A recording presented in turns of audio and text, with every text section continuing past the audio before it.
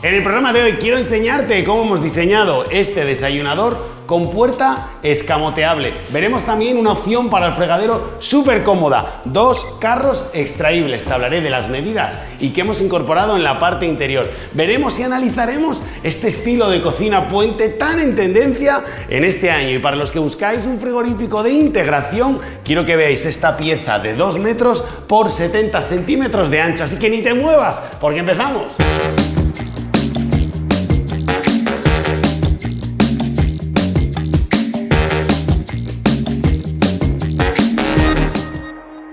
all Hola familia, yo soy Daniel Colino de Cocinas CJR y os doy la bienvenida a todos los cocinólogos y a todas las cocinólogas a un nuevo programa. Oye, quizá has llegado hasta aquí buscando inspiración para diseñar tu próxima cocina. Si es así, tengo que darte la enhorabuena. Creo que estás en el canal adecuado, pero si con todo el contenido que puedes ver en nuestras redes no consigues sacar ese proyecto que te gusta, el que te enamora, quiero que sepas que todo mi equipo y yo podemos echarte una mano. Te he dejado aquí en el primer comentario toda la información y si clicas justo aquí, en esta tarjeta, te lo explico perfectamente en un vídeo. También tengo que decirte que todos los vídeos que puedes ver en el canal tenemos fotos de alta calidad, en alta calidad, en nuestra página web y en nuestra cuenta de Instagram. Y hoy estamos en un proyecto en una cocina abierta al salón o semiabierta, ¿verdad? Porque has visto las cristaleras con esas puertas correderas que cierran la puerta y consiguen aislarla. Una cocina bastante grande que tiene un espacio para colocar una mesa delante para que esta familia pueda comer, desayunar con comodidad. También hemos instalado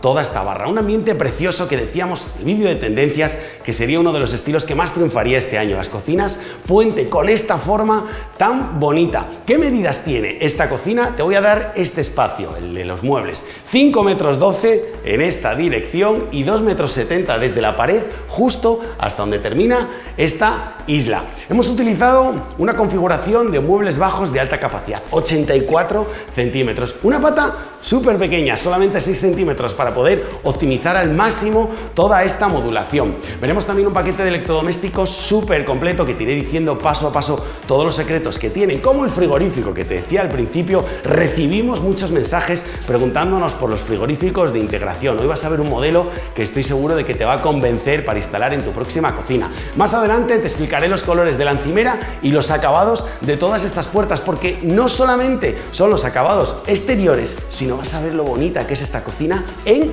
el interior. Y como siempre, nos acompaña la voz de Estela, la voz que le da personalidad a todos vuestros comentarios y que me irá haciendo preguntas súper interesantes a lo largo de este vídeo. Yo quiero darle la bienvenida. Estela, ¿qué tal? Bienvenida a un nuevo programa. Hola Dani, hola cocinólogos y cocinólogas. Pues aquí estoy encantada de poder acompañaros un programa más y poder poner voz a todos esos comentarios que nos escribís cada semana. ¡Fantástico! Pues entonces ya tenemos todo para poder arrancar ir viendo paso a paso cada módulo de esta cocina. Estamos viendo una composición de frentes en nogal americano, unas puertas de madera natural, rechapadas con madera natural, por eso quedan también con esta combinación de encimera de Neolit Abu Dhabi. Y decía al principio del vídeo que hay un módulo, un desayunador, que ahora podemos hacerlo con apertura escamoteable. Y es que este tipo de aperturas son comodísimas para muchos de los muebles que tenemos en el hogar. Lo hemos visto el doble escamoteable que descubre un desayunador muy grande, pero también se puede incorporar en un módulo que en el exterior mide 70 centímetros, podemos abrir simplemente la puerta, que además en este proyecto nos coincide bien porque abre contra pared y no molesta mucho, como puede molestar en otros diseños que coincida más en el medio de la cocina, pero ojo, porque tenemos la opción y la posibilidad de dejarlo así, abierto. Y nuestros clientes nos dicen que por la noche dejan esta pequeña luz y hace este ambiente un ambiente precioso. ¿Cómo se compone este módulo? Tres estantes superiores para poder almacenar, una zona de encimera, algo importantísimo en este mueble es el carril de iluminación que enciende y apaga todas las luces que tienen en el interior, dos tomas de corriente en un lado y una toma de corriente en el otro lado para poder conectar todos los pequeños electrodomésticos, siguiendo el mismo patrón, el color interior exactamente igual que el exterior. Así este módulo cuando está abierto queda prácticamente igual, la misma composición de color con toda la cocina que cuando está cerrado. Tres piezas tiene abajo. La primera es de altura cubertero, que nuestros clientes lo utilizan como un cajón convencional. Y las dos de abajo tienen la altura de una gaveta, más altas que la parte superior. Perfecto para guardar todo lo que necesitas para el desayuno, incluso algún pequeño electrodoméstico. En la parte central ya vemos este gola negro a juego con los electrodomésticos que nos va a servir para poder abrir las dos puertas.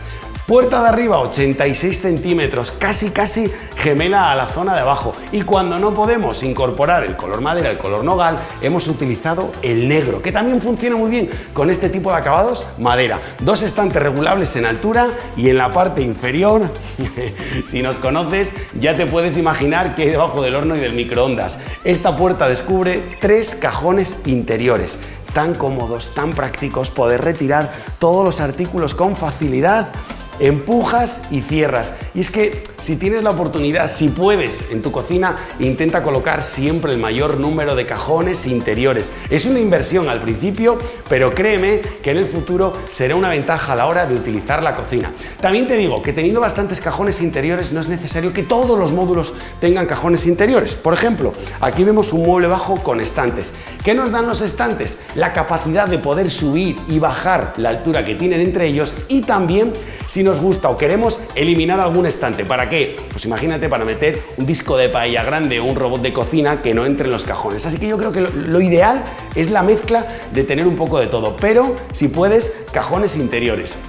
Y ahora quiero enseñaros dos piezas de 50 centímetros, un metro en total, un módulo bajo fregadero que no vemos habitualmente en el canal, aunque sí que lo hemos visto ya en otros programas. Pero mira qué cómodo poder abrir los dos carros y acceder rápidamente a estos cuatro cubos de basura. Qué chulo, Dani, pero tenemos una pregunta. Cuéntanos, ¿por qué en este proyecto habéis elegido apertura vertical en lugar de horizontal?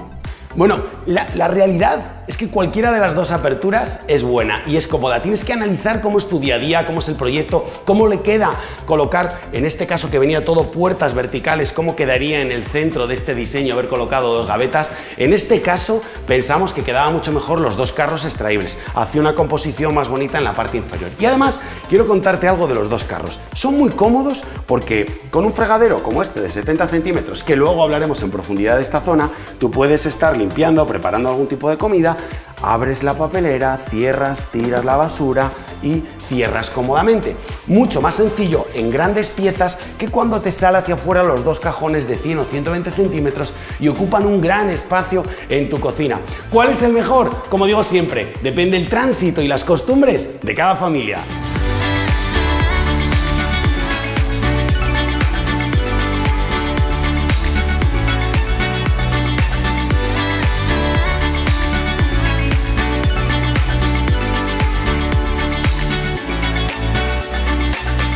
Qué bien cuando inventaron los lavavajillas de integración que nos permiten esconderlos detrás de una puerta y que queden, como su propia palabra indica, integrados con el resto del proyecto. Estás buscando un frigorífico de integración, pero claro, has mirado por internet y te has dado cuenta de que en el interior son un poco más estrechos y que a veces no son muy altos. Bueno, creo que este modelo puede ser la solución. Es el frigorífico de integración de Whirlpool.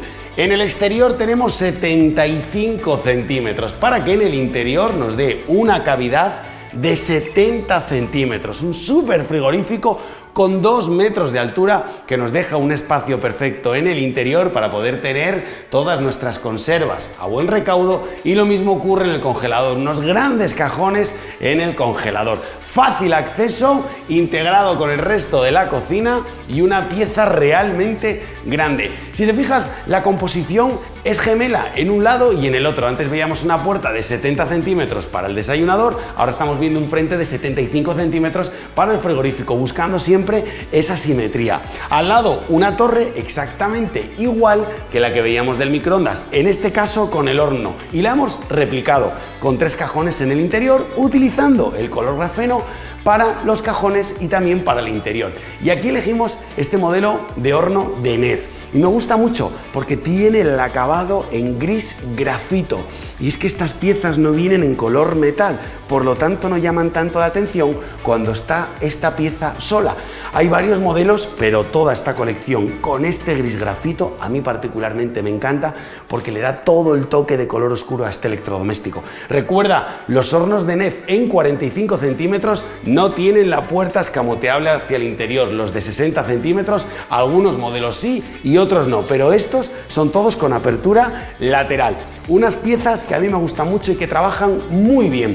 Claro, para hacer esta composición de cocina a puente haciendo este arco en la parte superior, tuvimos que utilizar dos grandes módulos.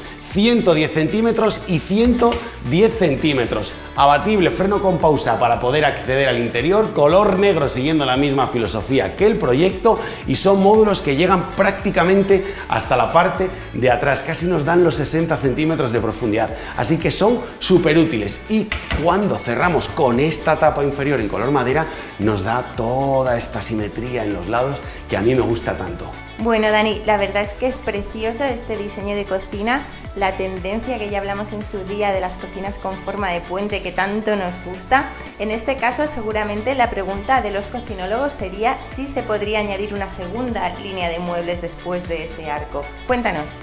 Por supuesto que sí. Y es que al final, cuando nos sentamos en la mesa con nuestros clientes, diseñamos la cocina ad hoc para cada familia, lo que quiere decir que cada uno elige qué piezas colocarle. Y en este caso, una cocina tan grande, con 5 metros 12 de largo, con tanta modulación, con tantos cajones interiores, además los clientes lo tenían súper claro, que la idea, la, foto que querían ver desde su salón era esta cocina con esta forma. Pero por supuesto que con los 94 centímetros que hemos dejado libres desde la encimera hasta la tapa de arriba podríamos haber incorporado un módulo de 40 centímetros igual que, que tenemos en la parte superior aquí abajo. Incluso podríamos haber jugado con la combinación de colores, como ya hemos hecho en otros programas y en otros proyectos que hemos visto aquí en el canal. Pero claro, Fíjate qué amplitud nos da toda esta zona sin módulos altos. La encimera de Neolita Abu Dhabi con esta veta dorada tan bonita, tan bonita, que me gusta mucho particularmente. Y claro, para que todo siga a juego, debíamos de colocar un grifo y un fregadero que siguiera también esta filosofía.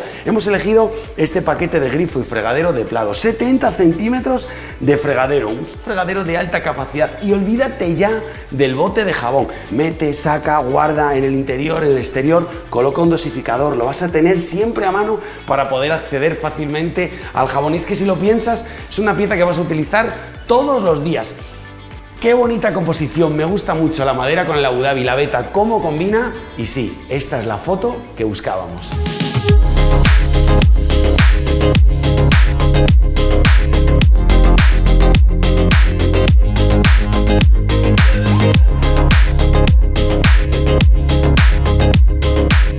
¿Te fijaste que al principio del programa aparecía en unas puertas correderas? Luego quiero contarte cosas interesantes de ese sistema de aperturas, pero antes me gustaría hacer hincapié cuando diseñas una isla, cuando tienes un proyecto como este, quiero hacer mucho hincapié en respetar las medidas, los pasos, para que toda la familia cuando esté aquí pueda estar cómodamente. Y eso es importantísimo. Hemos dejado un metro quince contra la pared y un metro cinco justo aquí en el centro. Ya sabéis que nosotros hemos marcado una línea roja en 90 centímetros, pero todo lo que puedas dejar mayor de 90 centímetros siempre será mejor. Y ahora quiero hablaros un poco de esta super isla y quiero empezar por las medidas. 2 metros 77 de largo y un metro de ancho. La encimera Neolit Abu Dhabi con esta veta tan bonita. Doble cascada a los lados que luego la veremos con más detalle y componen el interior tres grandes gavetas de 90 centímetros. Pero, como puedes ver, solo hay una línea y otra línea. Hemos instalado, en este caso,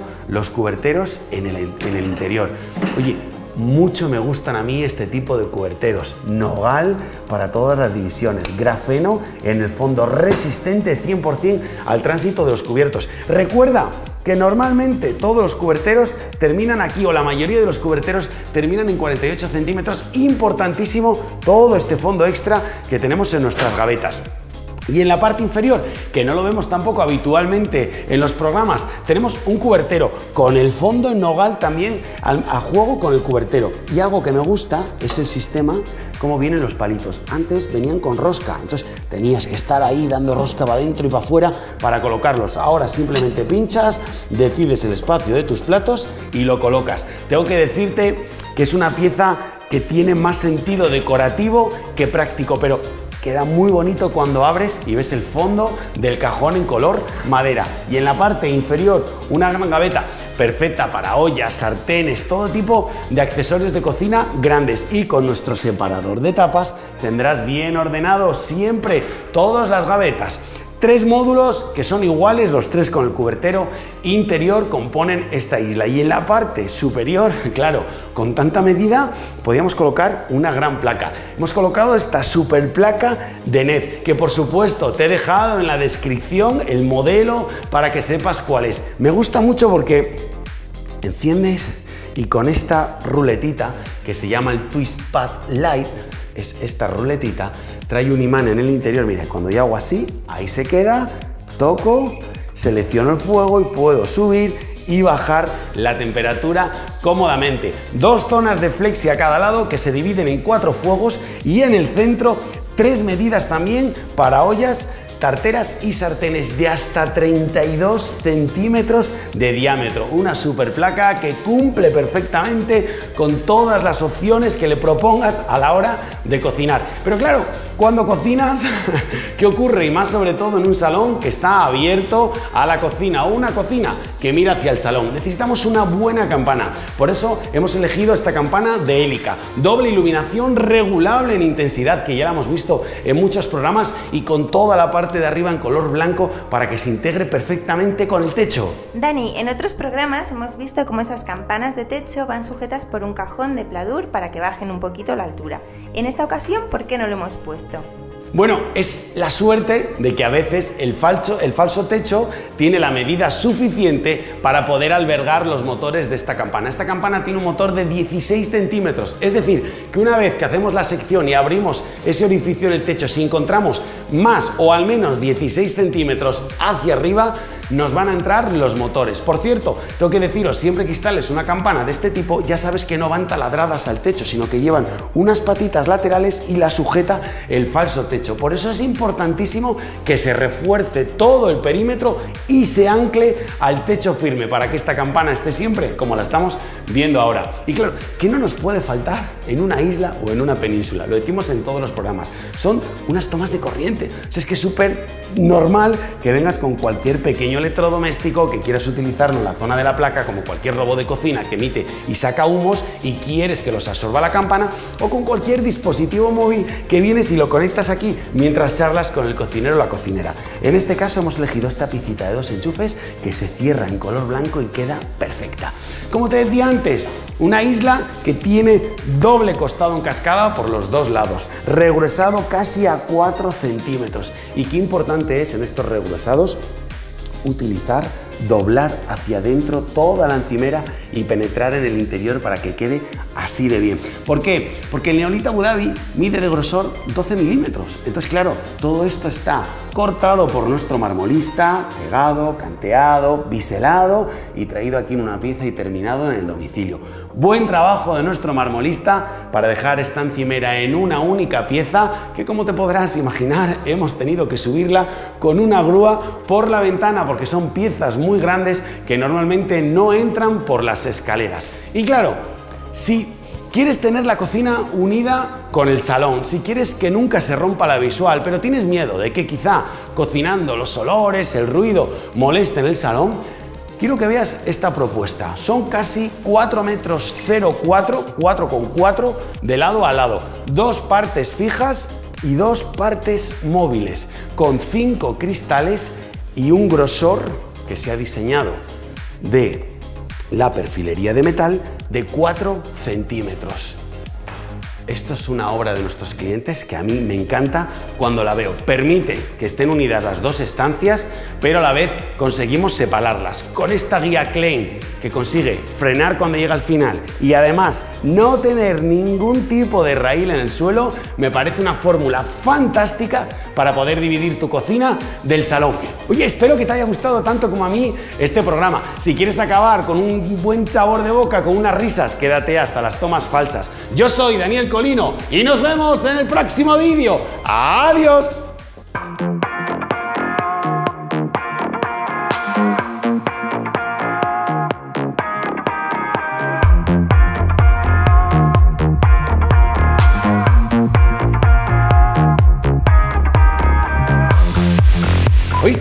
Proyecto de una cocina que con el tiempo van cogiendo el color y van cambiando... No, no, no. Es que estos frentes que te decía de madera natural son de madera... Natural. natural. Un 77 de largo y de ancho no tengo ni idea.